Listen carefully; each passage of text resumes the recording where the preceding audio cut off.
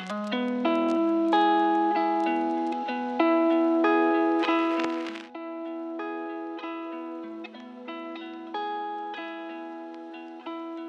there and welcome to Simmer's Nook.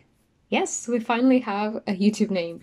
If you haven't seen the previous videos before, um, obviously you already know that we have a name because you are seeing my YouTube channel with a name, but this is the first audio that I record because I've been recording the videos in advance where I already knew the name of the channel and I'm really, really excited. I really like it. Took a while to come up with it. Let me know your thoughts about it. So, welcome to Simmer's Nook. I can finally say that. My name is Patricia. I'm an artist and illustrator in my other life, on my other YouTube channel, but here we will do cozy simmer stuff and cozy builds. So about this video, this is the third video on my first series ever here on this channel and what I'm doing here is renovating base game starter houses. I don't know if eventually I will renovate the rest of base game but for now I'm starting with base houses and I was thinking about eventually after finishing this ones I'll move along to the other base game houses in the other packs. So I know that in previous updates a lot of the starter houses are prettier and are designed by, by other simmers and people that can build.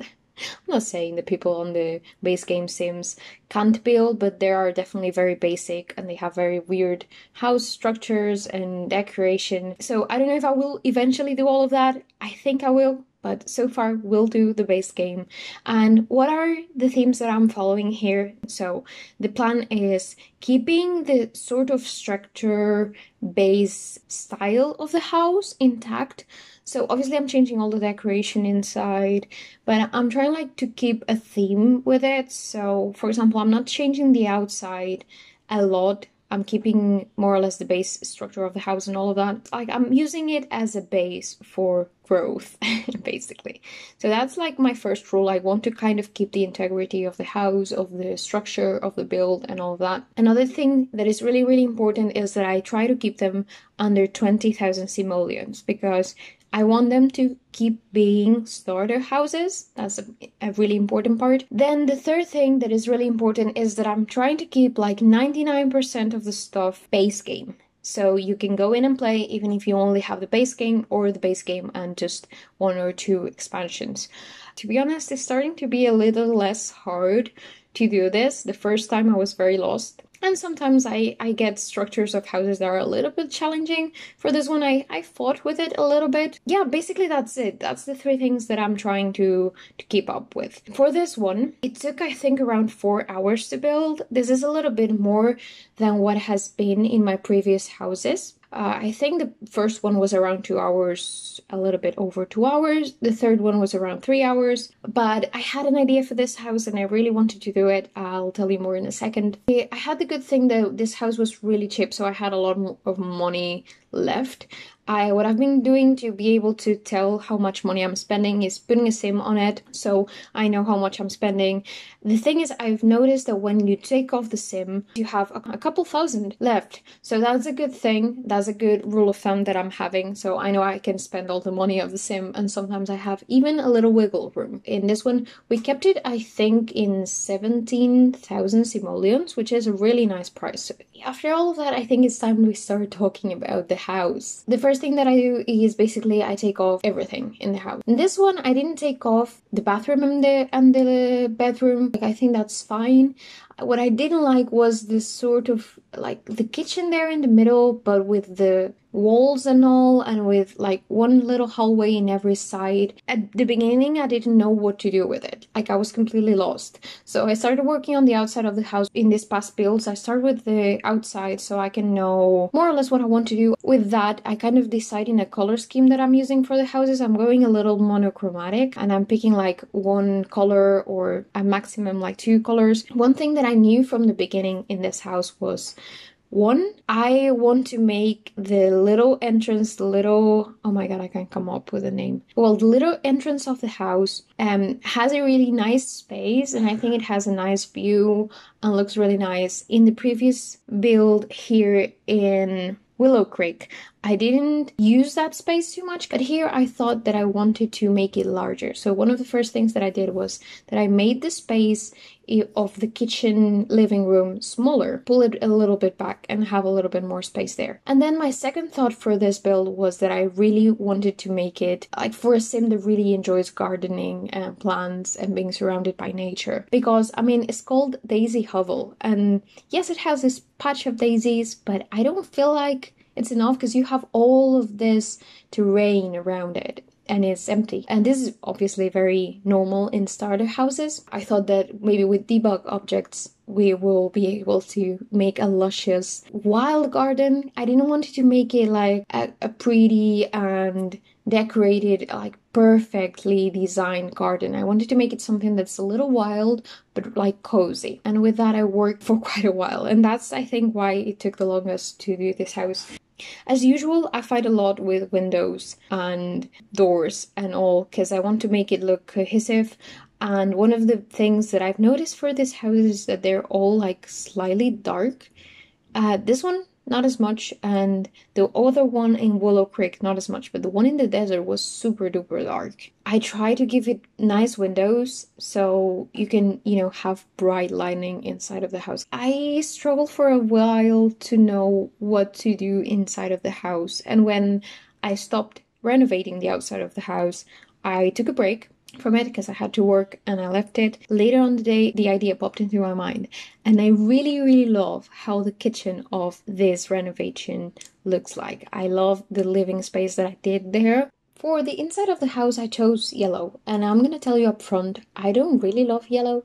Why did I choose it then? Um, well, first of all, because I'm trying to get out of my comfort zone, so I'm also trying to get to use different colors that I maybe I wouldn't have used in a normal situation. What I'm trying to do when deciding what colors to use, I try to check what colors they used in the build, and I saw that in the main space in the living room they used like this yellow, how would you call it, like pastel yellow, a very muted yellow, and I thought that maybe a little bit of a egg yolk kind of yellow will look nice and will give it a nice punch because I feel that these builds are always very muted and also the color schemes are, all over the place. The kitchen went through quite a few adjustments, so yeah, you will see me fighting with that for quite a while. I made it a little smaller, but then after making the kitchen, I realized that I had left like a little bit of a tighter space for the living room. Like, I didn't want it to make it huge, but I thought it made it look like crumpled up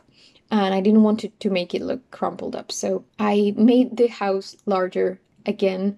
So basically, I think that it ended up being exactly the same as it was in the beginning. So I know I'm talking about the kitchen a lot, but it's like the portion that I think I fought the most with, but I also think is the portion that gives the most personality to this house. I knew that I didn't want this house to have a table and chairs to eat in, that I wanted to have like an island type of kitchen. And to be honest, in my Sims builds, the ones that I use, I end up doing that a lot. I usually just put an island with a couple of chairs. I, I kind of like that look and I feel like it even saves some space. And the last fight with the kitchen was when I realized that I wanted to put the living room part on the side where I put the big window because you might have noticed that I moved the main door to the side.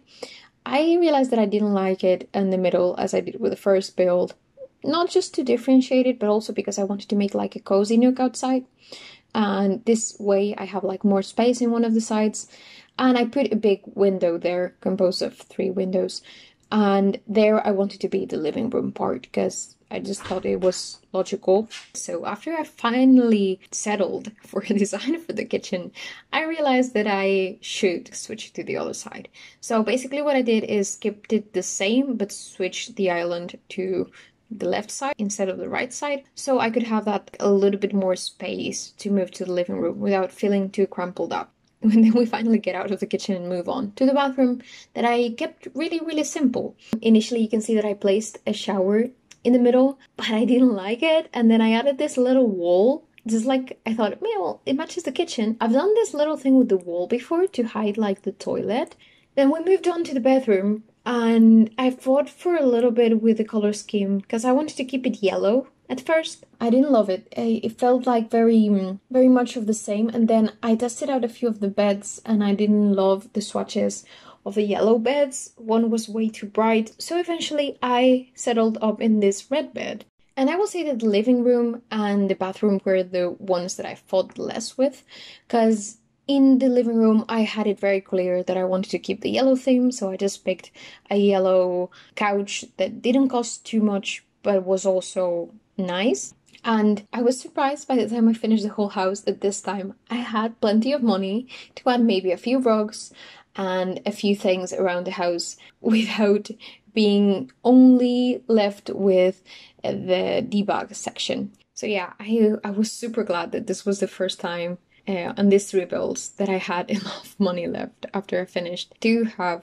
wiggle room to play around with things and also made me feel like I'm starting to get used to this. By this time, we're probably just adding the finishing touches to the house, uh, like decorations to make it feel more cozier, and then we'll move on to the garden. This part always takes a while, just as the decoration part takes a while because I go through debug objects like five times. So yeah, I think that this might have been the, I don't know if the one that took the most time, but definitely took almost as much time as the building of the inside of the house took. About the outside, I really don't have much to say because most of what I did was go through debug, find things, test them out, and then eventually, little by little, I ended up adjusting them so they looked good. Eventually, I had a little bit of a clearer idea of what I wanted. What I came up with was I wanted to have like a little pathway. I decided to use what we had in the starter house, which was this like rock pathway. I continued that and I wanted to make like a gardening nook.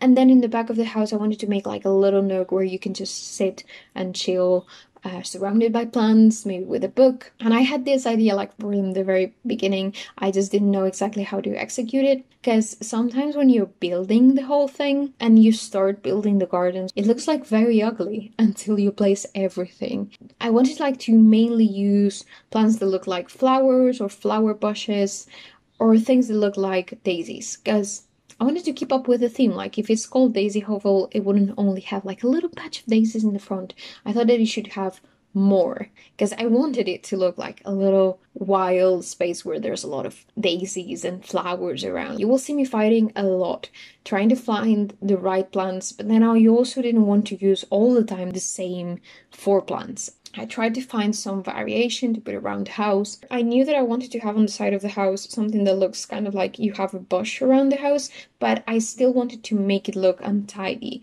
So for that, I used like random bushes. They're not all the same ones. And then for the gardening nook, I had a problem and I realized that here in base game, we didn't have the planters. Like I looked for them and I couldn't find them. I wanted to have planters so your sim can do gardening in this house because it feels like it will match.